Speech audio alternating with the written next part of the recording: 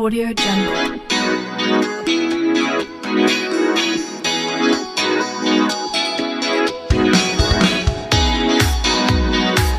Audio Jungle.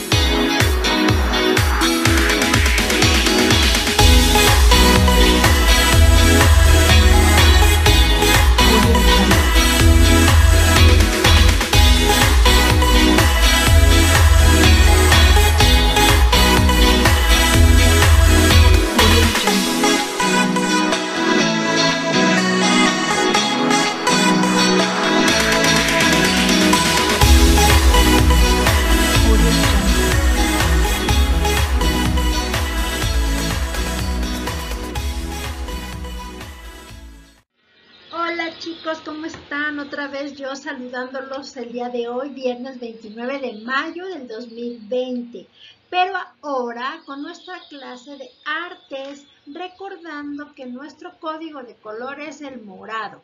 El tema que vamos a ver se llama Soy artista, arte con tapas. ¿Listos? Vamos. Ok, mis amores, vamos a empezar recordando qué es un artista plástico. Es la persona que se dedica profesionalmente a la elaboración de arte plástica, ya que utiliza diferentes tipos de materiales que pueden ser modificados o moldeados por el artista para crear una obra de arte. Esas obras pueden ser pinturas o esculturas. Y aquí te presento algunos de los materiales que ocupa un artista plástico. Puede ser pintura para óleo, pintura vinil, puede ser colores, lápices, plumones, hasta un lápiz pueden ocupar para hacer sus obras de arte. Ok chicos, aquí les presento diferentes obras de arte con diferentes técnicas. Aquí en estos floreros ocuparon barro, en esta pintura ocuparon pintura al óleo, aquí ocuparon tapas de plástico de diferentes tamaños, corcholatas para crear una obra de arte, para hacer esculturas como esta usaron metal, aquí para hacer los alebrijes utilizaron periódico, lo hicieron con papel maché. Aquí esta obra de arte está, utilizaron lápices de colores. Aquí es puros lápices de colores. Y en esta obra donde están las frutas, ocuparon plumones de colores haciendo puntitos. ¿Se acuerdan de que la actividad que trabajaron con la Miss Laura de puntillismo? Pues aquí lo hicieron con plumones. ¿Verdad que están padres? Bien, chicos. Ahora vamos a trabajar con nuestro libro.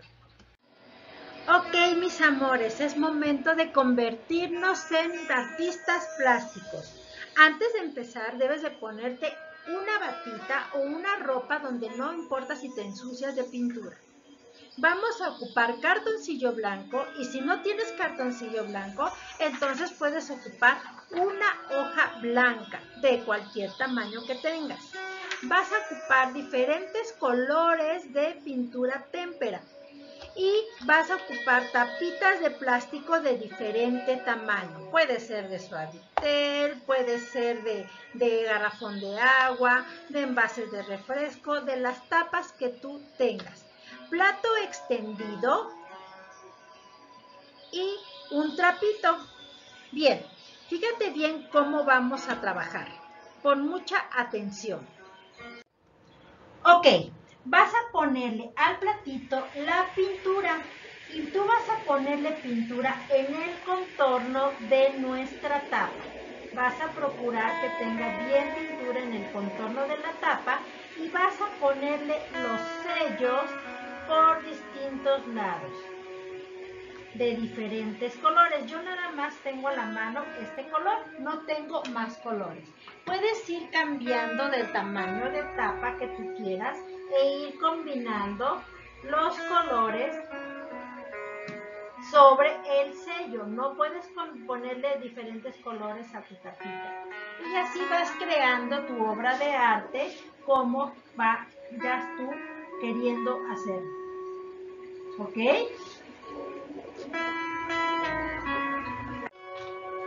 Ya que terminaste de hacer tu obra de arte, le vas a poner título a tu obra y le vas a comentar a mamá qué fue lo que quisiste hacer, qué fue lo que plasmaste en tu obra de arte.